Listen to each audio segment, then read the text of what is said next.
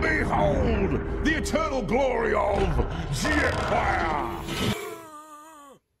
Ladies and gentlemen, I know I said it'd be a week or two before my uh, after my Baiwei Optimus video, but uh, unfortunately I'm not made of money, so I got to spread out these videos. Otherwise, I'll run out of stuff in like like two weeks or something like that. Anyway, today I'll be going over the Baiwei TW1103 Studio Series Jetfire available on the Showzstore. Starting with the box, and before I ripped off all the bubble wrap and all the extra junk that AusPost slaps on, I genuinely thought I got some I got sent the wrong thing because just look at it, it looks like some sort of IKEA flat pack thingamajig. But uh, the reason that it is the way it is is because it actually comes apart in pieces since he is a combiner. But also, as you can see on the box, he has a render of the figure itself on the front and the back, with the name and just a few extra pictures at the bottom for the combination mode. Over to the figure now. Since he is a fourth party, it is just the Studio Series mold, but oddly, no improvements or changes that I can see, besides the uh, paint, which overall I think they've done a really good job on. Much better than the original.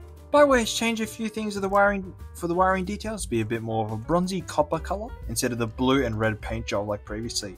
A few more sections have been painted in a dark silver and finished off with removing the odd red markings that were on his head, which I'm pretty sure weren't even in the movie, but still, once again, a very nice paint job. Over to his bits and bobs, and since it is made by way, by Baiwei, they've added the upgrade kit to their products, and in this case, it seems to be parts from the DNA design kit, excluding the articulated hands, which is a bit disappointing.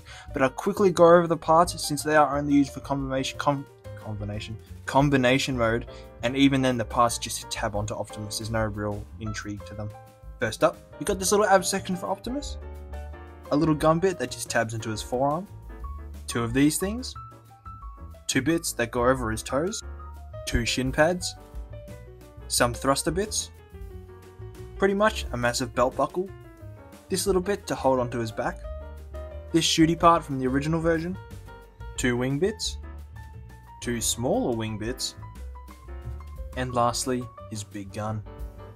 Now, for his accessories that Jetfire actually uses, he has his cane, which is the uh, landing stick, and it's done in a nice dark silver. And finally, we have his axe, which comes with some nice silver tips on it. Over to articulation now, and he's got some pretty solid ratchets, specifically for a senile old robot. But to begin, he can barely look left, he can barely look right, and completely forget about looking down. But he can look up quite far to ask Robo Jesus why he was made this way. Quite a large movement in his hands and arms.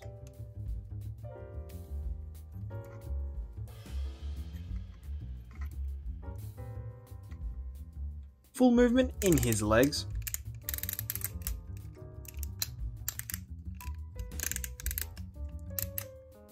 Two ratchets in his little knee bits.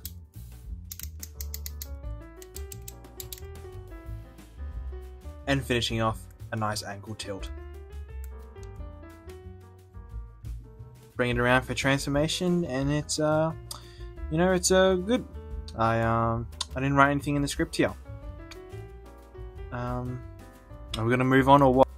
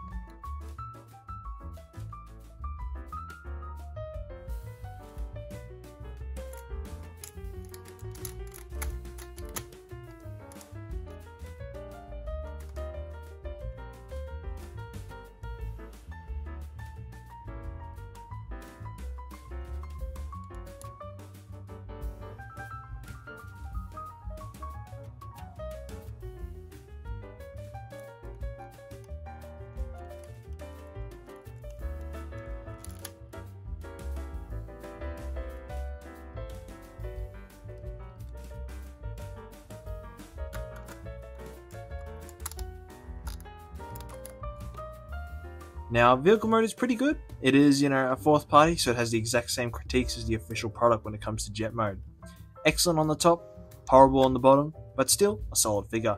I'd recommend getting this one if you missed the original and you're probably wondering where the combination mode is. Well, I'm being a bit stingy and I'm going to leave it for next video since I don't have anything else at the moment. But that's all I got for today. Catch you around next week. See ya.